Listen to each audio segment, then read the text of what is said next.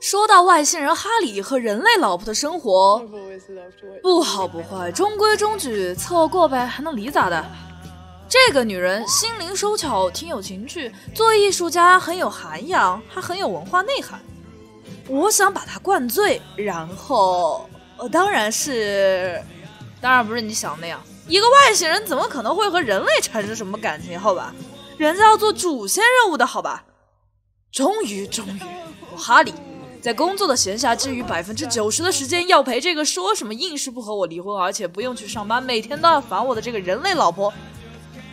我哈里终于用那挤出来的百分之十的时间，在山上找到了我的装备碎片，现在还剩最后一块了。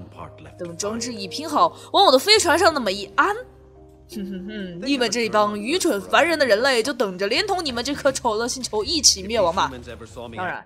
在前面六集里面，镇子里的人虽然有各式各样的问题，总归来说也都还挺喜欢哈利的。顶多麦克斯算他半个敌人吧。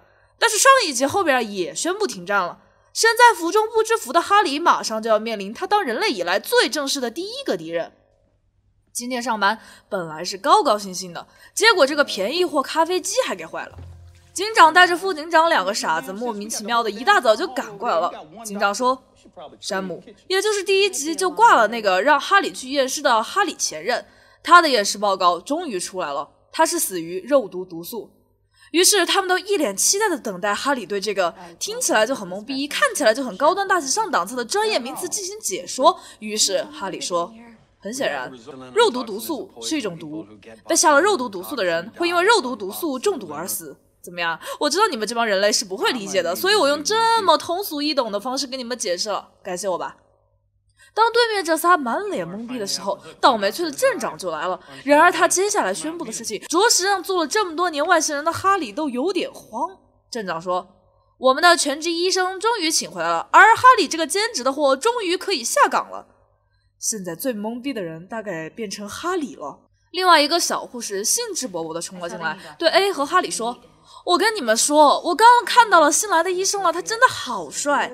A 说：“帅有什么用？主要是要医术精湛。”小护士继续说：“但是看多了丑的，看点帅的，心情也会比较愉悦一点。”好了，我懂了，他在骂我。什么眼神啊！我简直帅到爆炸，好不好？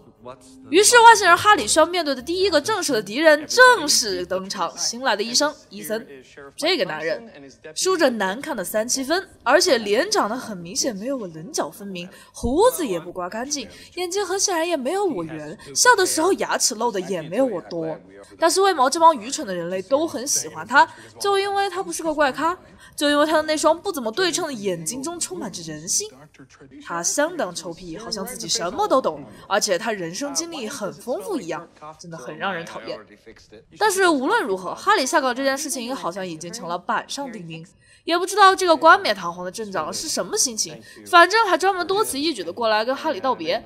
随后，哈里不由自主的想起了关于上一集的末尾麦克斯对他说的话：“你不许再说我是个怪咖了。”于是哈里对镇长说：“其实麦克斯根本就没病，他好得很。”然而那个讨人厌的医生就跟苍蝇一样，哪里都有他。也就是说，哈里误诊了。医生过来添油加醋。哦吼，看来是很喜闻乐见的医疗事故嘛。对不起了，麦克斯，现在不卖你更待何时？哈里立马改口：“哦不，不是的，他其实病得很严重，已经无药可救了。我绝对没有误诊。”嗯。但是这都不是重点，哈里相当舍不得的和 A 拥抱道别，而这个时候老婆竟然恰好跑过来了。很快，老婆就把哈里带到了五十九酒吧。达西很快就发现，这两个他最不想看到的人竟然在他的酒吧里同时出现。这都不是重点，因为哈里等会儿就会发现，这个人类老婆大概是疯掉了。他竟然撺掇我，让我把我的湖边小屋卖掉，让我和他回那个可怕的大城市纽约一起住。拜托大姐。我的设备我都没找完，再加上从纽约到我藏飞船的位置，要不你来帮我开车怎么样？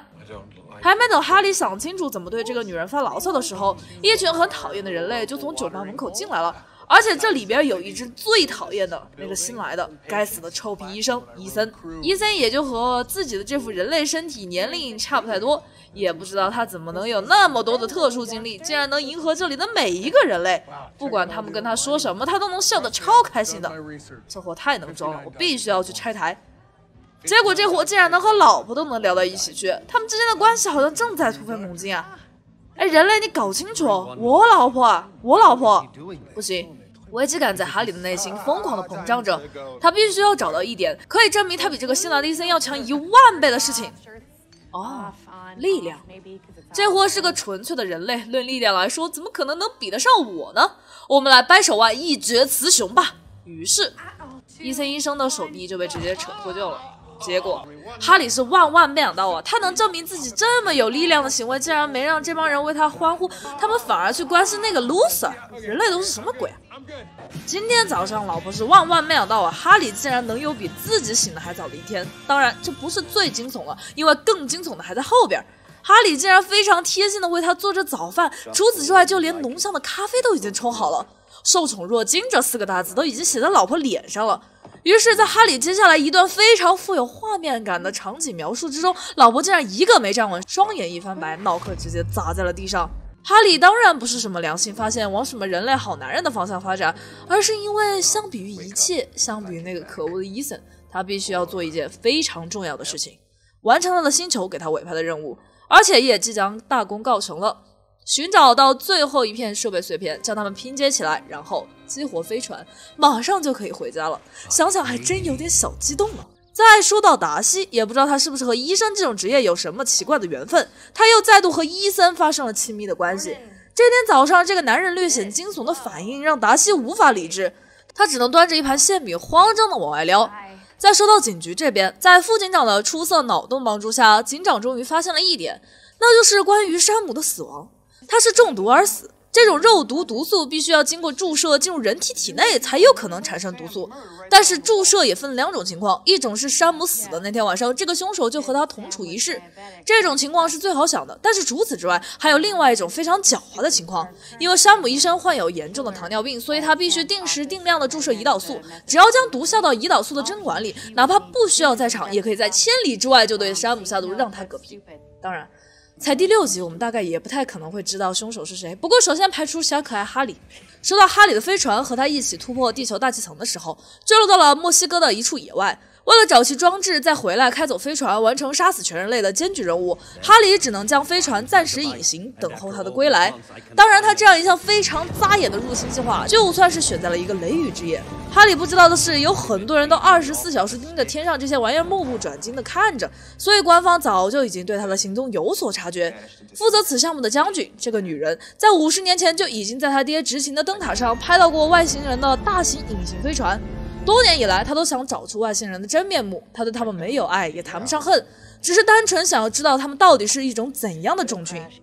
自从哈利进入了地球之后，将军就叫下属一男一女假扮夫妻，开着房车，做出他们要自驾游的假象，其实是调查外星人到访的线索。最终，他们找到了哈里费劲巴拉藏匿好的飞船，并且恬不知耻地将它给运到了他们的秘密基地之中。将军觉得，既然外星人把一个东西藏在这里，那么这个玩意儿一定会有人回来找他的。